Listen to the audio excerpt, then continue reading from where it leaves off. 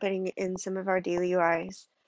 And I read an article about this the other day. And I thought it would be helpful to share.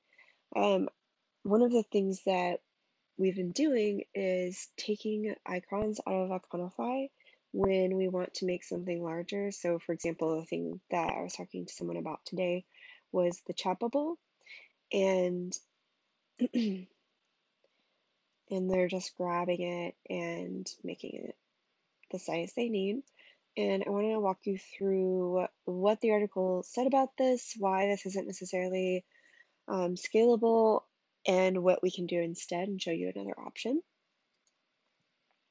So as you can see, when you get it bigger, and I mean, we can really take this up large and maybe make it a crazy shape. And you can see that the curves right here are not going to be as elegant or professional looking when you have it at a size that the designer actually didn't intend it to be.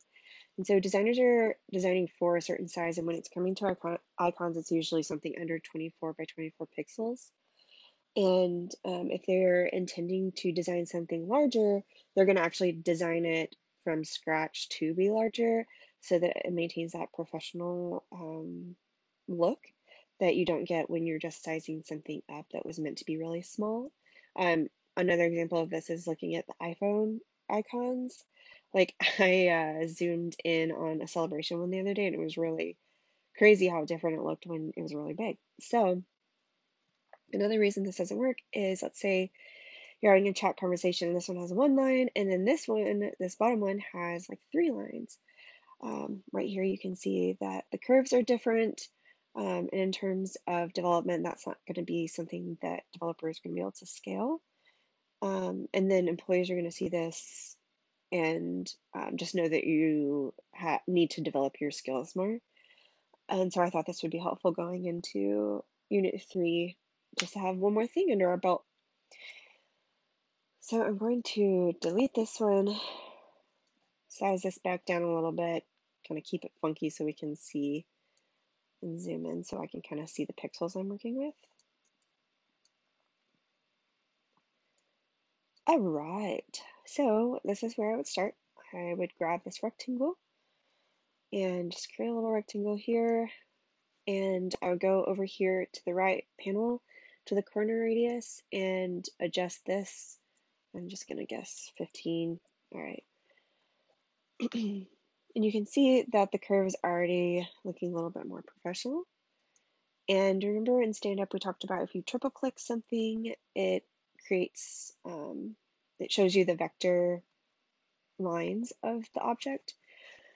What I would do is I would take this pen tool and if you are in the vector view, you'll see this little dot moving around. You can hover over the edge of the different sides, and this is automatically filling in one in the middle in case we wanted to do that. But for this example, we're going to start over here on the side and just kind of move over. And since I know I want to pull that little um, triangle down, I'm going to go ahead and start with three points and um, click escape to get that little line disappear and move back over to the move option. And you'll find that um, modern industry standard is you're not going to normally include one of these little dip downs in a chat conversation. Um, usually it's just going to be a rectangle. Um, but if you were sketching something for like a prototype or like a user um, walkthrough and wanted to create a bubble for that, I wanted to go ahead and show you how to do that. So um, you can see it's adding that corner radius to these three points. And I'm going to go ahead and, whoop, I'm going to do that. I'm going to double click this one, or click it, hold shift and click all three, and come over here and just put that back to zero. Click enter, and now we already have a better looking chat box. Now, if you want it to it to curve to the left, this is how you would go ahead and do that. And actually at this point, if I was going to do that, because this is a back and forth conversation, I would exit out of that vector mode. I would duplicate it.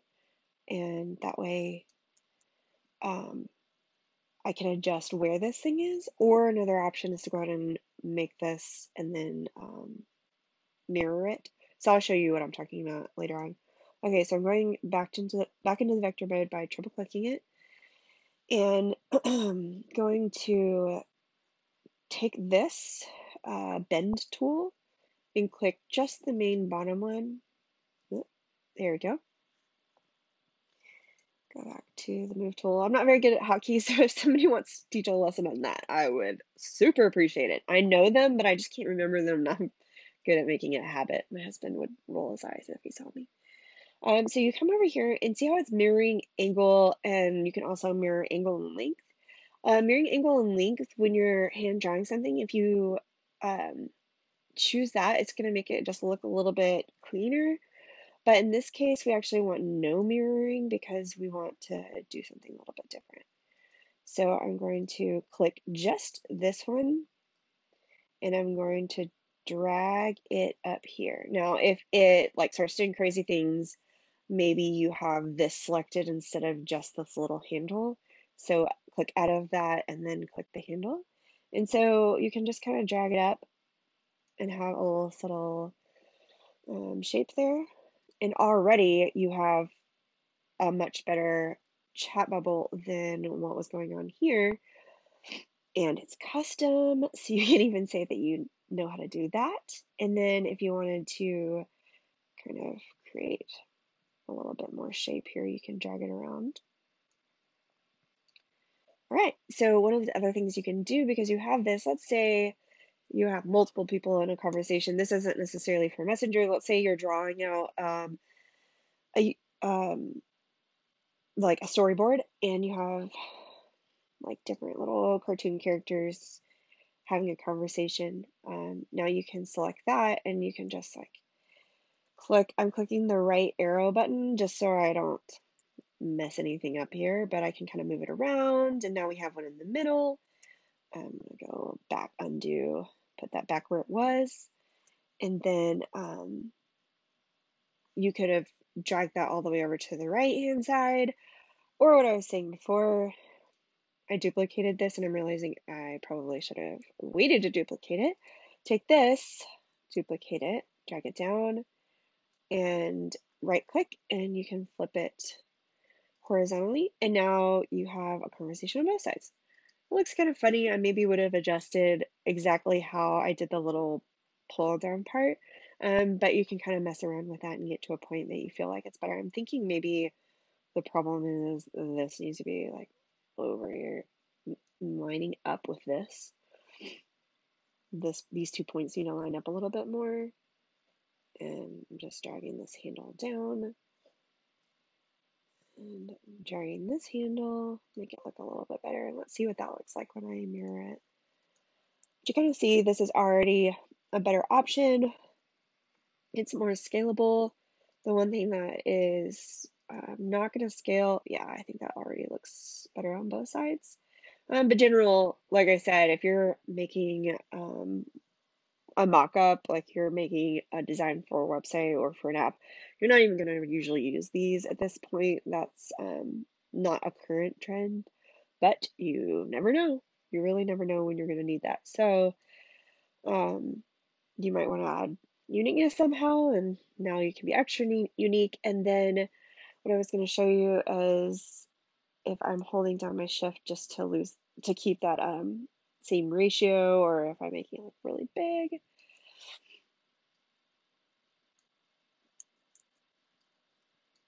And then I can make one really small. Um, you're not getting that like weirdness here with that little angle.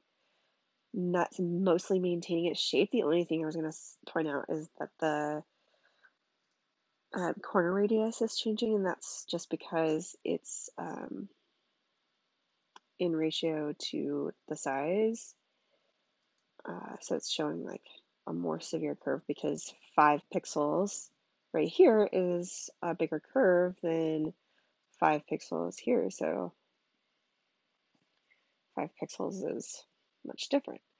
Um, I don't know the scientific way to explain that, and I actually don't know the best way to size that up. So maybe someone else can chime in here and add a little bit about that.